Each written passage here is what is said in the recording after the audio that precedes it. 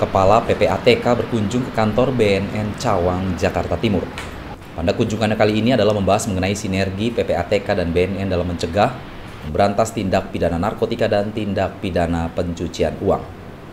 Kunjungan ini dihadiri oleh Kepala PPATK yaitu Dian Ediana Rae dengan didampingi oleh Kepala BNN Komjen Pol Heruwinarko.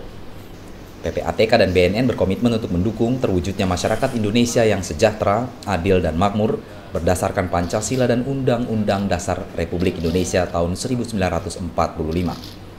Komitmen tersebut ditunjukkan kedua lembaga dengan melakukan upaya pencegahan dan pemberantasan penyalahgunaan, juga peredaran gelap narkotika yang tentunya sangat merugikan dan berbahaya.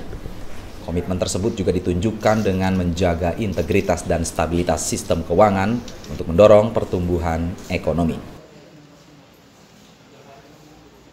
Uh, kami pada intinya sebetulnya ada beberapa hal yang ingin kita lakukan. Uh, pertama tentu saja adalah kita meningkatkan kerjasama uh, pemberantasan tindak pidana narkoba ini karena memang salah satu salah satu tindak pidana yang sangat menonjol untuk tindak, tindak pidana pencucian uang itu adalah narkoba.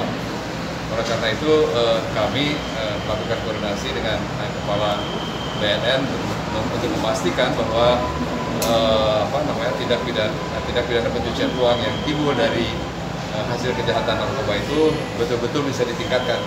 Narkoba ini mengawali situasi yang pidana. Tindak pidana pencucian uang awali dari narkoba. Tidak pidana komputer awalnya dari narkoba. Tidak pidana yang uh, crypto market juga dari narkoba. Dark web. Ini yang kita terus kembangkan terus. Ya, kami terima kasih dengan uh, PPATK banyak masukan-masukan dari PPATK yang bisa kita kembangkan yang kita isi ungkap pertama jaringan-jaringan ya jaringan yang baik luar maupun dalam dan kita tim yang dari PPTK dengan BNN bersama-sama terus kita lakukan. Firda dan Sidik, Tribrata TV. Salam Tribrata.